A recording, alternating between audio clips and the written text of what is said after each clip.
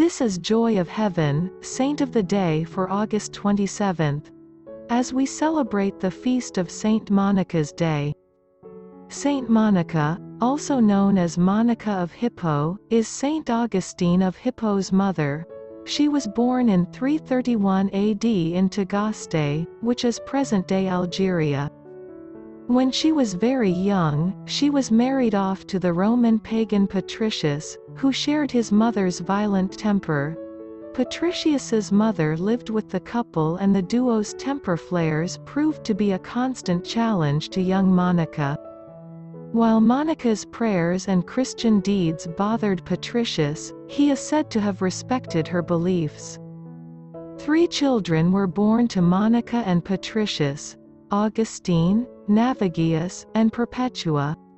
Unfortunately, Monica was unable to baptize her children and when Augustine fell ill, Monica pleaded with Patricius to allow their son to be baptized. Patricius allowed it, but when Augustine was healthy again, he withdrew his permission. For years Monica prayed for her husband and mother-in-law, until finally, one year before Patricius's death, she successfully converted them. As time passed, Perpetua and Navigius entered the religious life, but unfortunately Augustine became lazy and uncouth.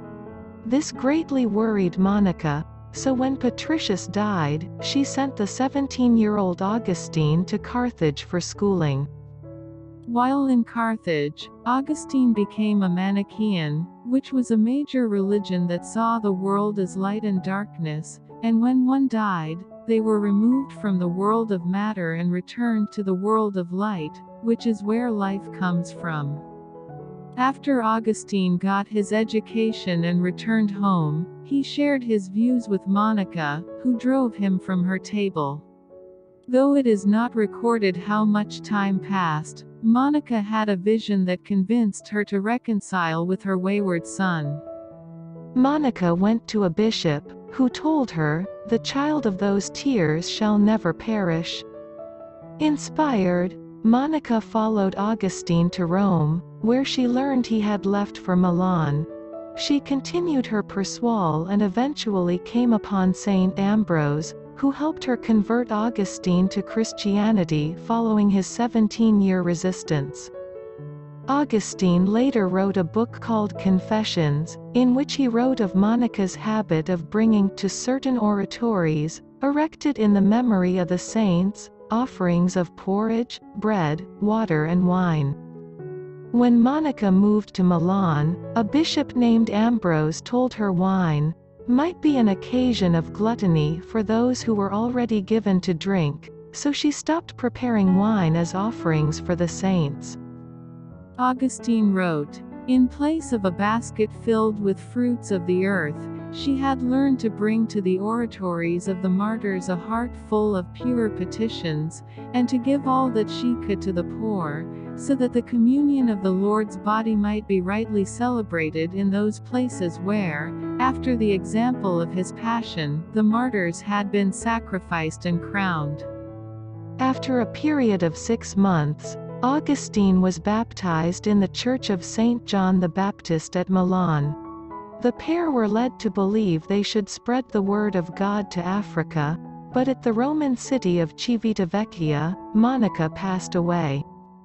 Augustine recorded the words she imparted upon him when she realized death was near. Son, nothing in this world now affords me delight. I do not know what there is now left for me to do or why I am still here, all my hopes in this world being now fulfilled. She was buried at Ostia, and her body was removed during the 6th century to a hidden crypt in the church of Santa Aurea in Ostia, near the tomb of Saint Aurea of Ostia. In 1430, Pope Martin V ordered her relics to be brought to Rome and many miracles were reported to have occurred along the way. Later, Cardinal d'Estouteville built a church to honor Saint Augustine called the Basilica di Sant'Agostino, where her relics were placed in a chapel to the left of the high altar. Her funeral epitaph survived in ancient manuscripts and the stone it was originally written on was discovered in the Church of Santa Aurea in 1945. Douglas Boin translated the tablets Latin to read, Here the most virtuous mother of a young man set her ashes, a second light to your merits, Augustine. As a priest, serving the heavenly laws of peace, you taught or you teach the people entrusted to you with your character.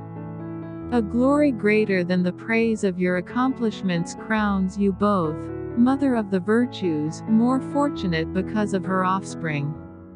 Thank you.